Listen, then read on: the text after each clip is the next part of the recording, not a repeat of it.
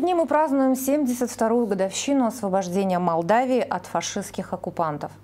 Этот праздник с некоторых пор носит скорее неофициальный характер. И на торжественном возложении цветов из руководителя государства увидишь только президента. Но даже не это, наверное, самое главное. В последние годы в Молдове формируется некое новое отношение не только к советскому прошлому, но и к такому постыдному явлению, как фашизм.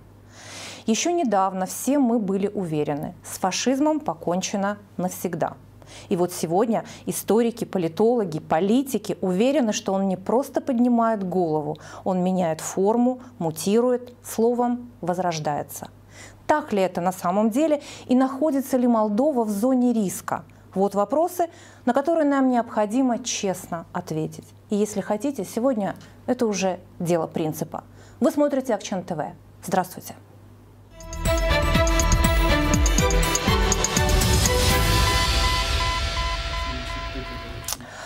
Я представляю своих гостей с большим удовольствием. Сегодня у меня политолог Борис Шаповалов. Здравствуйте. Экс-министр обороны Виктор Гайчук. И вам здравствуйте. Здравствуйте. Что вас объединяет? Это то, что вчера вы участвовали в конференции, которая была посвящена 73-й годовщине освобождения э, Молдовы от э, фашистских захватчиков. Вот в названии были такие слова «правда и вымыслы» о Великой Отечественной войне. Э, господин Шаповалов, а чего сегодня больше, правды или вымыслов? А это смотря какой источник читаешь. Если читаешь э, фальсифицированный Господин курс... Шаповалов, правда всегда одна. Нет, нет правда одна. Но как ее преподносят, совершенно по-другому. Ее можно по-разному интерпретировать. Да? Э, любой цвет имеет 200 оттенков. Черный, белый и так далее. Точно так же исторические факты. Смотря какой источник используешь. Если читаешь э, фальсифицированный курс так называемой истории румын, то это одно. А если читаешь э, курс, э, допустим, какой-то объективной истории, тех же э, западноевропейских историков, восточноевропейских, российских историков во Второй мировой войне, mm-hmm. Великой Отечественной войне, там совершенно другая интерпретация может быть. То есть, к сожалению, на многие исторические факты нахлестываются, скажем так, современные политические какие-то события, разборки между крупными державами, вот, борьба геополитическая, геостратегическая, все это сказывается. Поэтому это периодически происходит. То же самое происходит и у нас. А фашизм, нацизм – это явление, так скажем, 30-х, 40-х годов 20 века. Ну, не секрет, что неонацизм и неофашизм есть четкие ясные формулировки, которые действуют сегодня на всем европейском пространстве, к сожалению. Э, господин Гайчук, как вам вот тренды нынешние а в э, освещении вот, Великой Отечественной войны, так называлась да. конференция. Вот чего больше, правды или вымыслов? Что ну, нынче в тренде? Вот? Дело в том, что ну, господин Шаповалов правильно говорит, зависит от интерпретации. Но никто же не может отрицать, что здесь в 1944 году были немецкие войска и румынские войска. Это, это факт? Это факт. Это факт. Никто не может отрицать, что э, Яж, мы вообще-то говорили на конференции о Яжско-Кишиневской операции 1944 года с 20 августа по 29. И никто не может отрицать то, что в результате этой операции эта территория была освобождена от немецких войск, которые устан... и румынских войск. Но более того, я скажу, что эта операция она способствовала смену, смене режима в Румынии в самой что 23 августа, то есть вчера, да, как бы 73 года назад, там э, был свергнут правительство во главе с э, маршалом Антонеску. Угу. И, Румыния, и Румыния 23 августа из э, союзника Гитлера превратилась в его врага. И они повернули оружие. Я видел сегодня плакаты интересные, где написано, что Э, румынский солдат и советский и, и, и gloriosul ostaș sovietic împreună luptă cu фашизму. Угу. Это очень интересные факты. Я видел фотографии, где э, в Бухаресте люди встречают, написано «Glorioasa armata, armata Роши», «Așteptăm», «Строяска» и так далее. То есть это, конечно, некоторым э, политикам, когда им невыгодно, они могут этот же факт прихода сюда советских войск интерпретировать по-своему. И э, можно интерпретировать сколько хочешь, но я э, говорил и, и, друг, и другим средствам массовой информации, что никто не сможет отрицать, что в Берлине советское знамя было поднято советским солдатам, что фашизм исчез благодаря советской армии в основном. Никто не так. может отрицать. И не может отрицать, да. и все. И, и дальше уже интерпретация все заканчивается. Поэтому... Ну, хорошо, э... я не стану с вами спорить, просто, наверное, вы давно не общались с американцами. Любого американца спроси, кто выиграл Вторую мировую войну. И кто? Конечно, они скажут, что Америка. А вы знаете, что я знаю, что и румынские э, солдаты или ветераны, они говорят, что они выиграли, польские, они говорят, что они... И, нет, если так, по большому счету, она говорит так, что коалиция которое было из Советского Союза, Великобритании, Соединенных Штатов, они выиграли. Но то мы все понимаем, что Берлин-то взяли все равно советские солдаты. Берлин-то знамя все равно были ну, советскими, Красной армией, то все, дальше уже можно говорить все. Я, будучи курсантом летного училища, то все солдаты, которые были у нас и в техническом составе, мы шли на дискотеку, они все говорили, мы все летчики. Э, господин Шиповалов, да. Э, вот я вас провоцирую угу. все-таки.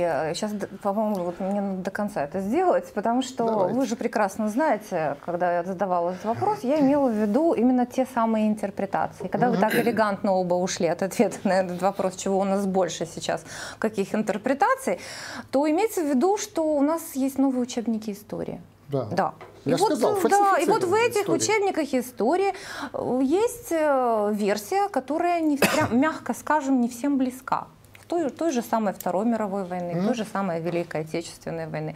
Я вот хочу понять, вот э, эти процессы, которые происходят на, на сегодняшний mm-hmm. день, вы их как можете охарактеризовать? Э, Людмила, давайте я просто на конкретных примерах э, покажу, что происходит и как. Э, это отголоски, еще раз говорю, той борьбы, которая ведется западным миром с Российской Федерацией. Да. Это та ярая русофобия, русофрения, которая на сегодняшний день существует, которая подогревается. Все почему-то борются с путинской пропагандой, да, но забывают о том, что они занимаются точно такой же пропагандой, еще более оголтелой, потому что это более богатые страны. Это один момент. Второй момент. Вот давайте на конкретных примерах. Вот не надо э, там ссылаться на западных историков и на все остальное. Давайте посмотрим, где был молдавский крестьянин и рабочий в годы Великой Отечественной войны или в годы Второй мировой войны. Вот я на цифрах просто объясняю, а пусть телезрители, так сказать, э, вот они как бы... Вот, делают выводы. Да, делают выводы, они наши судьи, рассудят в этом вопросе. Э, по официальным данным, 391 тысяча выходцев из Молдавской Советской Социалистической Республики участвовала в Великой Отечественной войне. Из них 140 тысяч было э, э, призвано в армию в 1941 году и более 250 тысяч, 256 тысяч, где-то приблизительно вот так, в 1944 году. И я называю вам очень интересные цифры. Если среди добровольцев из 34 миллионов советских граждан, одевших форму военную в годы Великой Отечественной войны, э, э, были добровольцами 4 миллиона из 34 миллионов воевавших, то из молдаван 391 тысячи, их было 80 тысяч. То есть там каждый восьмой в целом по Советскому Союзу. А из молдаван это был какой? Поделим. Это каждый четвертый. Четыре с половиной, где-то пять. Вот вам пример. Из награжденных э, каждый воин Красной Армии был награжден четвертый. Среди молдаван 250 тысяч награжденных из 391 тысячи воевавших. Даже больше, чем каждый второй. Вот это чистые объективные показатели, на чьей стороне были молдаване, в чьей армии они воевали. Для э, примера, для того, чтобы не было каких-то вот инсинуаций, там вот румынская армия и так далее, до начала 43 года бессарабцев, молдаван, в румынскую армию не призывали. Русских, э, украинцев, гагаузов, болгар тем более, это считался враждебный элемент. И молдаване были прорусь, просоветские. Их тоже не призывали в армию. Их призвали 28 тысяч с большим трудом в румынскую армию. Из них 14 тысяч перебежало в Красную армию, а 14 тысяч не успела, потому что после 23 а, августа, после соответствующих событий в Бухаресте, да, э, когда Румыния вошла в состав антигитлеровской коалиции, э, они все написали, оставшиеся 14 тысяч, рапорт о том, что мы хотим перейти в Красную армию. Вопрос решался на уровне Сталина. Сталин сказал, нам свои люди нужны и в румынской армии, пусть они даже и союзники. Так что вот эти все сказки про румынскую армию, про то, что бессарабцы сказки, воевали... Понимаете, там, как? Это, вы, это в учебниках, да. Это в учебниках, это в учебниках. потому что там врут. А вы возьмите любой учебник, там написано, что 391 тысяча уроженцев Молдовы воевала в Красной армии. Нет. А там написано, что среди них 19 героев Советского Союза, 5 кавалеров Ордена не Славы. Написано. Нет, не написано. Вот что такое фальсификация истории. Втирание очков нашим детям и рассказывание абсолютно Хорошо. неправды. С какой целью?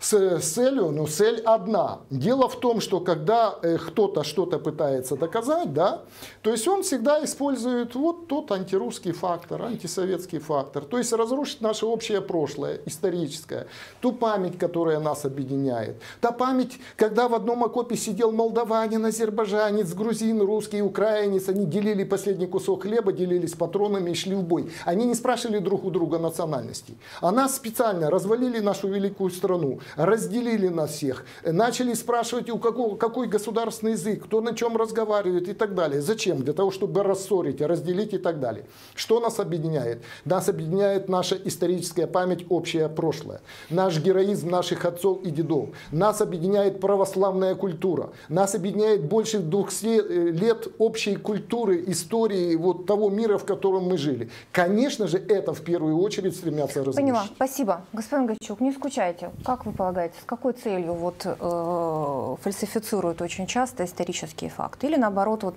о каких-то умалчивают, как мы ну, сейчас говорим, да, а какие-то выпячивают? К сожалению, э, иногда история становится инструмент достижения политических целей. И определенные партии, которые приходят к власти и имеют определенную идеологию или, или проект, допустим, э, либеральная партия, поскольку я знаю, у них проект это объединение с Румынией. Не только они одни, сейчас их много уже, да. А, видите, тем более. Но я почему назвал эту партию? Потому что эта партия курировала Министерство образования. И, mm-hmm. и Министерство обороны, кстати. Поэтому они, конечно, проводят свою идеологию, свои мировоззрения.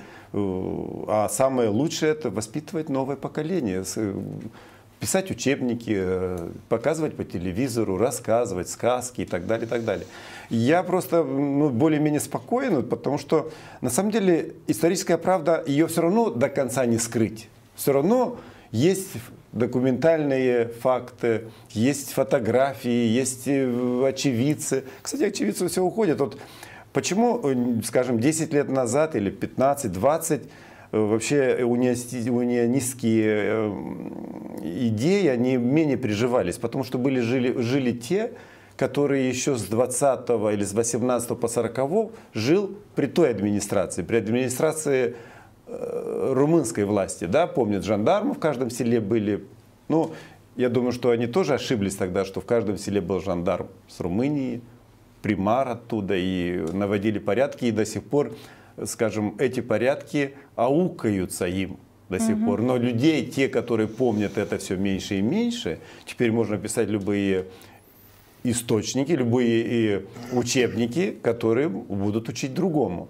Но, но вот такова жизнь. Я тоже не всегда, Может... никогда не понимала, сейчас я предоставлю вам слово, никогда не понимала, почему не пошли по самому простому пути. Вот все искали, что людей может объединить. Вот думали, да, и, и, и вот почему не взять самую простую идею, это Молдова, страна, победитель фашизма. Точка.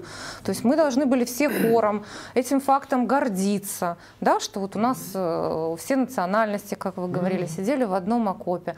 Но это не модно. Сейчас модно другие какие-то моменты, да, вот вытаскивать на свет и о них говорить. Э, понимаете, вот э, Виктор Владимирович сказал очень интересную мысль. Учебники. А вы посмотрите, что происходит в нашем государстве. Наши дети в лицеях учатся по учебникам 2011 года, изданным на румынские деньги при помощи румынского правительства. То есть их напечатали в Бухаресте, привезли нам сюда, и мы, молдаване, по этим учебникам учим историю румын. Вот это самая настоящая идеологическая диверсия против будущего нашей страны. И я, когда говорил о цифрах, вот у меня вспомнил еще одну цифру. Из 391 тысячи э, погибших 84 э, тысячи. Из этих 84 тысяч 56 тысяч молдаване. Почему? Потому что их было больше преимущественно в армии, потому что это большая часть населения, две трети, как тогда, так и сегодня. Вот вам опять-таки цифры, которые говорят, на чьей стороне был молдаванин, за какую власть он боролся и против чего он боролся. Я сегодня предложила вам взглянуть шире на фашизм, потому Давайте. что э, на самом деле есть э, большое число политологов, историков, э, научных значит, сотрудников, которые считают, что уже даже не неофашизм, да, вот, вот как фашизм принимает какие-то другие формы, но тем не менее он поднимает голову. Господин Шповалов, насколько в этом правды? Согласны ли вы с этим утверждением? Да, конечно, я согласен. И давайте применительно э, к нашим молдавским реалиям. Хорошо. Э, применительно к нашим молдавским реалиям. Не, во-первых, согласны ли э, вы? Да, что... ну я согласен с этой постановкой вопроса, потому что действительно мы сегодня говорим о новой форме. Это неофашизм или неонацизм.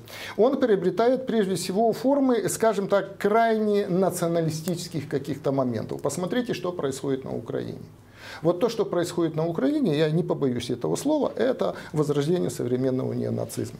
Потому что это неправильно. В стране, в которой 2000 героев Советского Союза, чтобы сегодня маршировали по центральным улицам Киева бандеровцы, те, которые стреляли в спину родителям, э, э, дедам и отцам вот, современного поколения. Это не может быть так.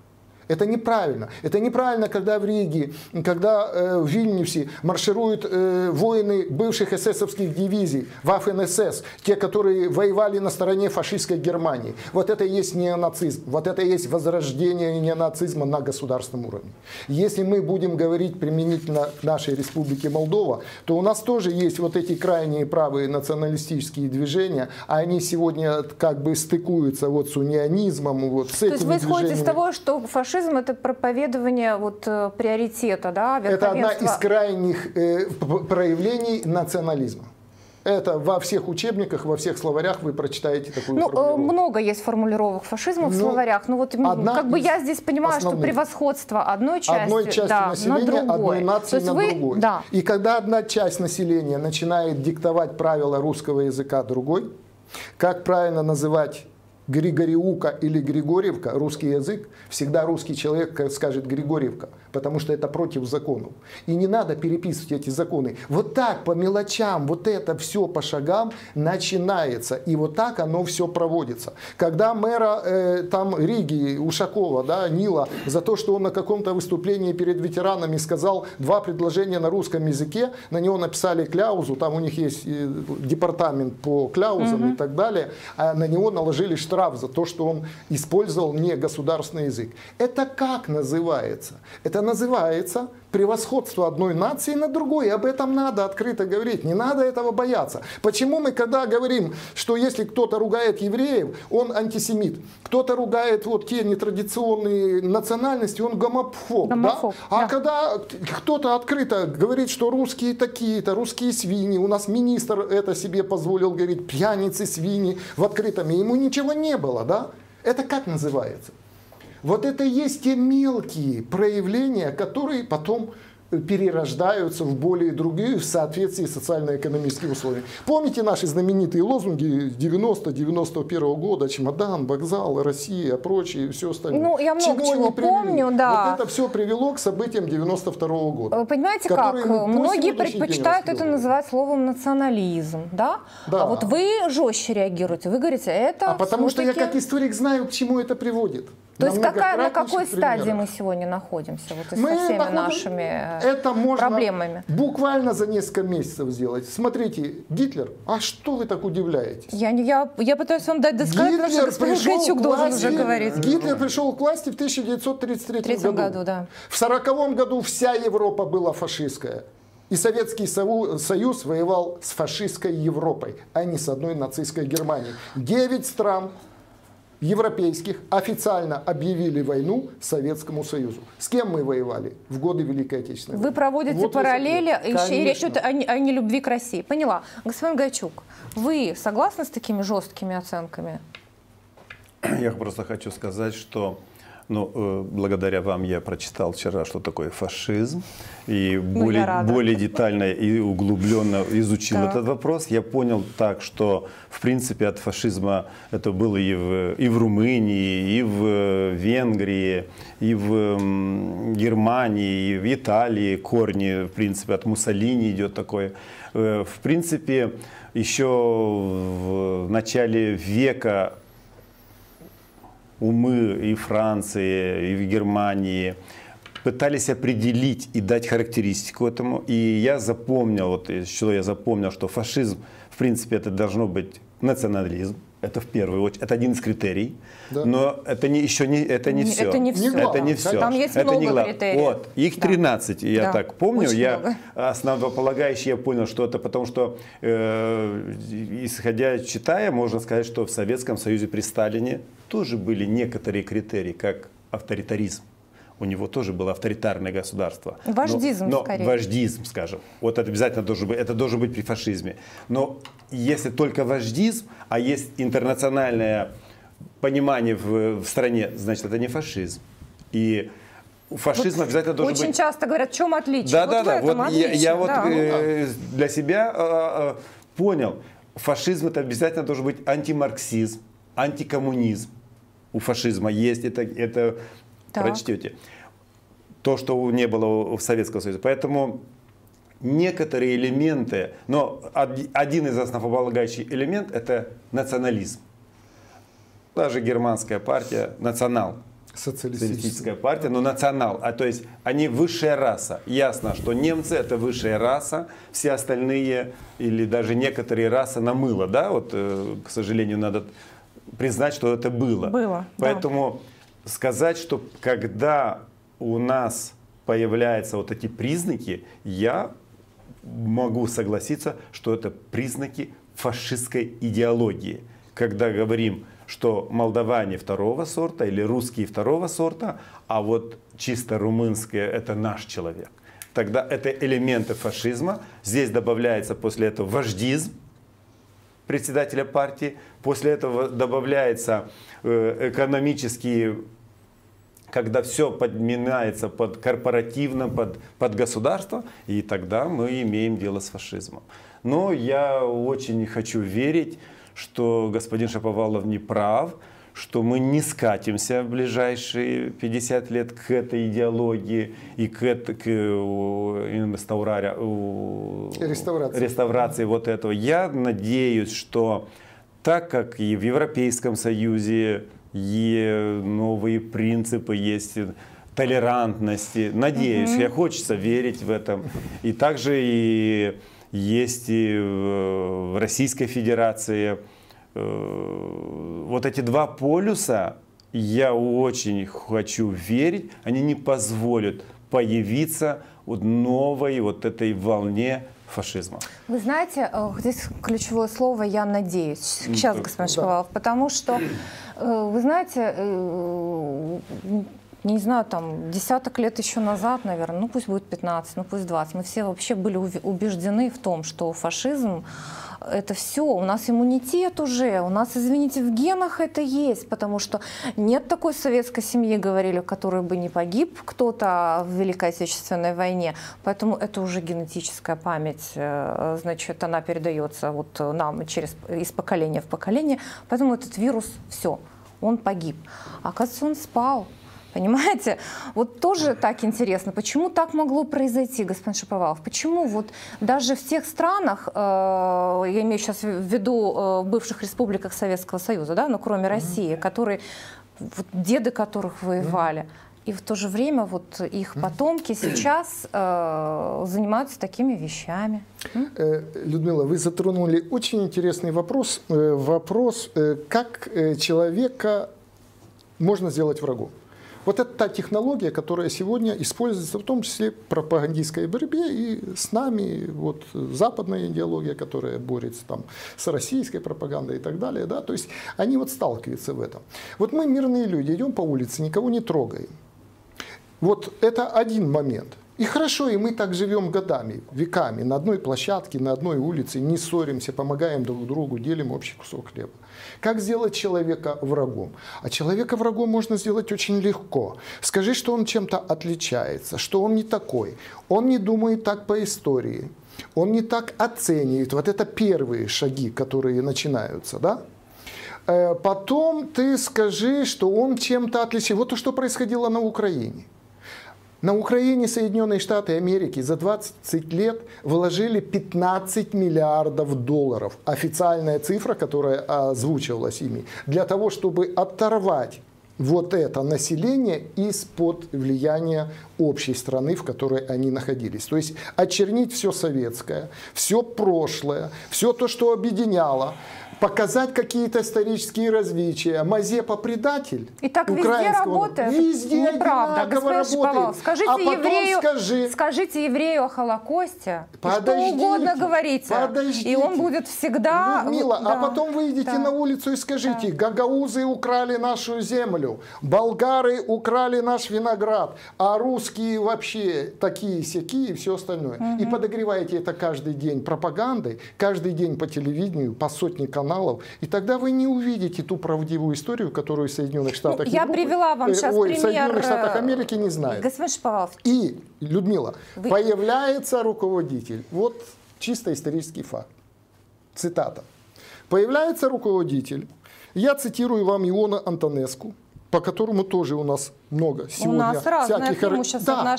Есть те, кто его А вот я сейчас процитирую и скажу, почему я так думаю. Потому что сама цитата говорит за себя. Иона Танеску на заседании правительства Бухарест 8 июля 1941 года.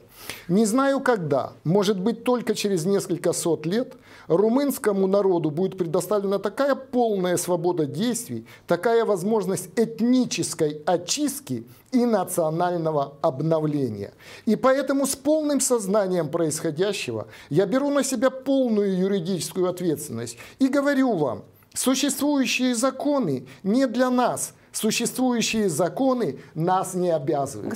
и это привело к уничтожению вас, да. 650 тысяч граждан Молдавии.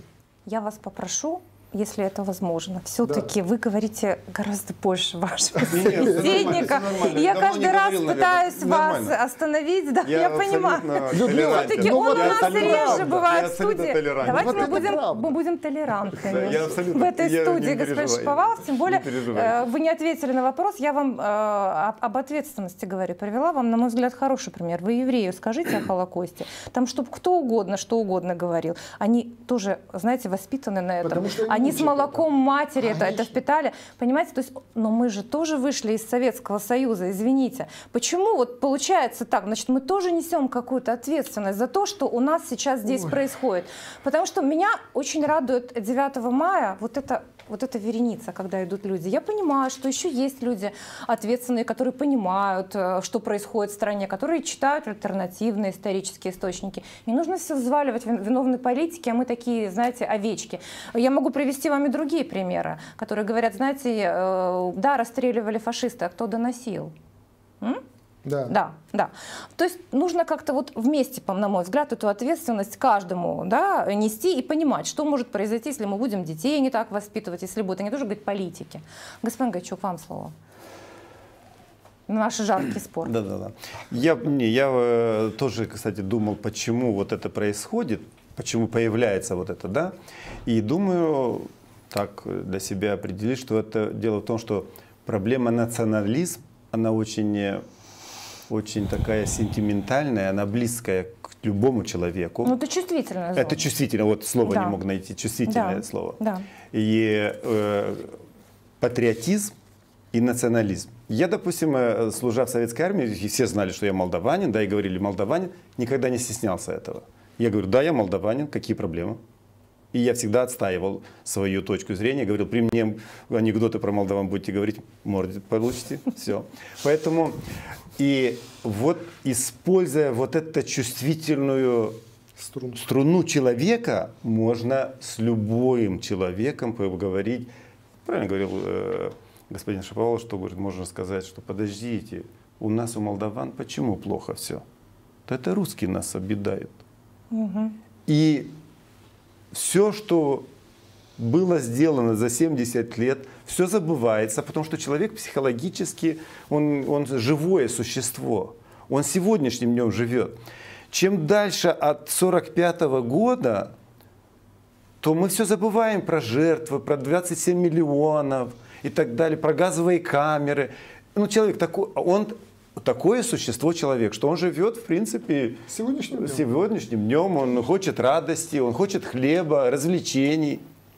И когда есть люди, которые заинтересованы поменять мировоззрение и используя вот эту струну человеческую, то можно через патриотизм ввести вот, вот национализм, вот все, вот давайте отсеем, давайте мы между собой ну, э, вот я думаю, вот в этом причина кроется, поэтому, ну, э, есть и силы, ну, в моем понимании, здоровые силы, которые опираются на интернационализм, на равенство всех людей, всех национальностей, одинаковые права. В конце концов, есть Организация Объединенных Наций, Ой, карта, хороший пример, есть... которая никак не может проголосовать уже сколько лет э, эту резолюцию знаменитую, знаете, да? То есть 129 стран осуждают, э, как это, прославление фашизма, да? да? А Соединенные Штаты вот за нее не проголосовали. Ну, вот они, Но они... и Молдова не голосует, и Украина имеют, воздерживается, они имеют, они и Грузия. Имеют вот это пример, вот он для меня, например, очень красноречив. Но есть э, хартия, которую все должны соблюдать, во всяком случае все подписались, и надо верить в добро, и надо верить в светлое будущее, и надо верить, что добро всегда побеждает зло, и надо верить в том, что фашизм не пройдет и не победит. Можно я дополню? Надо не только верить, надо для этого много делать. Ну, вот так, мы, так, мне кажется. Да, скажем, Знаете, как? мы вдвоем вчера проводили мы, конференцию. Мы да. проводили конференцию, мы говорили я... о военно-патриотическом воспитании, о молодежи, конечно. Я вас не обвиняю, я просто сейчас обращаюсь скорее к тем, кто 9 мая мог бы взять э, ребенка за руку и повезти туда на мемориал воинской славы и возложить туда букет с цветами. И вы знаете, не нужно какие-то воспитательные проводить э, особые огромные мероприятия. особые мероприятия, да, потому что я, например, так делала, когда была моя дочь маленькая. Каждый год, 9 мая, мы туда ходили, я что-то ей рассказывала, что-то объясняла. Но у нас же так э, делают далеко не все. Не все хотят э, воспитывать детей вот в, в том ключе, вот о котором мы В том-то и дело, говорим. что искусственно вот какие-то наши разногласия, разные точки зрения выпячиваются, и на этом делается вот политика такими партиями, как вот либеральная партия, вот все вот этого вот либерального уклона, вот они все нас как-то пытаются противопоставить друг другу. И, и что-то искусственное создать. Что вот этим, в чем проблема. Что с этим делать, господин Шповал? Э, если, если вот у нас в стране все обстоит так, как вы говорите, то обстоит далеко не благополучно. Значит, совершенно понятно, что здоровым силам необходимо как-то не просто сейчас сопротивляться, надо просто переламывать эту ситуацию. Я считаю, что прежде всего надо менять систему работы образования потому что э, мы в нашем государстве не воспитываем гражданина Республики Молдова. К сожалению, наша вся идеологическая основа нашего учебного процесса направлена на воспитание гражданина сопредельного государства. Да, братского, да, дружественного, но другого. Я в данной ситуации говорю с точки зрения гражданина Республики Молдова, который выступает за национальную государственность, за суверенитет нашего государства, за единые неделимые границы. И вот для меня это точка. Все. Мы великая нация, которая получила великий дар быть суверенным независимым государством. И отказываться от этого мы не имеем права. И тем более учить детей под чужим учебником напечатанным за чужие деньги, я считаю преступлением со стороны государства. Это чувствительная тема, я понимаю, о чем вы говорите, потому что я помню те самые протесты под руководством ХДНП, если вы помните, да? да. Помните, да? Как, э... И что сегодня лидер ХДНП говорит совершенно да. другое. Он да. прозрел. Но... Ну. А те, кого он воспитывал, к сожалению. То есть есть, есть эта проблема. Господин Гачук, как с этим бороться нам? Что нужно делать? Ну, во-первых, э надо высказать, надо всегда говорить надо так, как ты думаешь. во-первых, каждый, каждый. Угу. Во-вторых, э, трудно мне э, здесь дать какой-то рецепт. Я сам думаю над этим, потому что ну, я не столь категоричный, наверное, как господин Шаповалов в том, что вот, вот те плохие, а мы хорошие. Вот те плохие. Те тоже, наверное... Те, секундочку, давайте выясним. Те и эти, те, кто? Для меня те – это унионисты, унионисты. враги вот, молдавской да. государства. Да. То есть вы не считаете, вот что они такие плохие, да? Не, они тоже люди. Начнем так. с этого. Ну, так. Я же не говорю, Это, что... во-первых. Во-вторых, э, хочется верить или надеюсь, что их побуждение, побуждение принести благосостояние в этой стране. Я так думаю, может быть. Угу. Но я не соглашусь никогда с потерей суверенитета страны. Ну, вот считайте, что это тоже мои, на, на уровне сентиментов. Я не могу представить себе, что была Молдова независимым государством, и вдруг мы стали уездом какого-то. Ну так унионисты вас не поймут тогда. Ну это их проблема. Видите, угу. я, их, я стараюсь всех понимать, но вот это я не пойму. Историю фальсифицировать я тоже не пойму. Вступление в какой-либо военный блок и э, взять чью-то сторону, потому что мы не можем ходить вокруг, вокруг да около. Есть восточный сосед угу. и есть западный Все. сосед. И вот они друг другом бряцают оружием, и, скажем, э, в моем понимании как военного, уровень опасности взять 1945 и 95 одинаковый, то в 2015 или точнее 17 уровень опасности возрос. Возрос, потому что, ну, скажем, появился конфликт в Украине, это дестабилизирующий фактор. Ракеты появились, войска НАТО в Румынии, в Польше. Это дестабилизирующий фактор. Поэтому мы, э, живя в нашей стране, мы действительно имели и имеем возможность не допустить фашизма, быть объединенным. Ну, я всегда беру пример Бельгии, я беру пример, а лучше всего брать пример, потому что Бельгия это сразу скажете член НАТО, а я беру Швейцарию. Швейцарию, да, это, это, это, это самый и, и, и национальностей там сколько хочешь, и языков там сколько хочешь, и люди живут комфортно, и никакого тебе фашизма, и никакого тебе НАТО и, и так далее. Вот взять просто, вот мы же привыкли все копируем, да, мы то копируем, то американцев копируем, Конституцию у французов скопировали и, и так далее, и так далее. А почему не взять и по территории, и по населению, по всему, сопоставимо с Республикой Молдовы? Вот менталитет чуть-чуть поменять, законы взять, и, и, и вот привить а вы думаете, они меньше патриоты? Они больше патриотов. И армия у, нас, у них есть, и любят они свою страну, и готовятся они к, к, к защите своей страны, и нейтральное оно государство и так далее. А может и учебника истории взять, ну не переписать, что у них было, и в себе записать, а посмотреть, как они, они какую историю учат э, Германии, Италии, которые угу. когда-то оккупировали. Никто не учит историю германцев.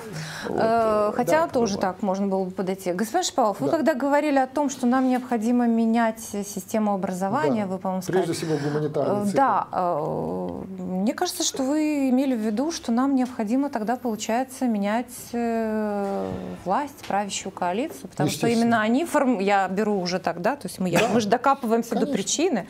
Конечно. Получается, всегда зависит от того, кто у нас у власти.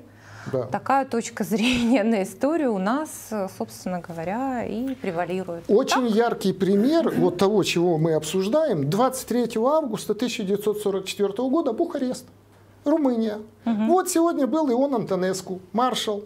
Молодой король не побоялся, арестовал его. И в этот же день эта страна полностью изменилась. Роль личности в истории. Кстати, король Михай получил орден Победы. Да, он единственный, да, кто он сейчас из, на Да, день вообще из То есть я вас правильно понимаю, да, у нас мало времени, понимаете, я уточняю. Что смена власти. Смена власти. Да, только конечно таким же, роль путем. личности в истории никто не отменял. И мы видим, что есть, да, правящее, про, так называемое проевропейское большинство. Это все э, мишура, это все, э, так скажем так, вуаль, да, проевропейское, все остальное. Есть просто определенная ОПГ, которая э, взяла власть в свои группы. Ну, можно преступная называть группа, можно политическая группа, объединенная политическая группа. Кому как нравится, пусть так и расшифровывают. Но миллиард у нас с вами украли. Три года нам рассказывают сказки, миллиарда так и не нашли, хотя все прекрасно знают, э, кто украл и кто что сделал. Вот та реальность, которая есть.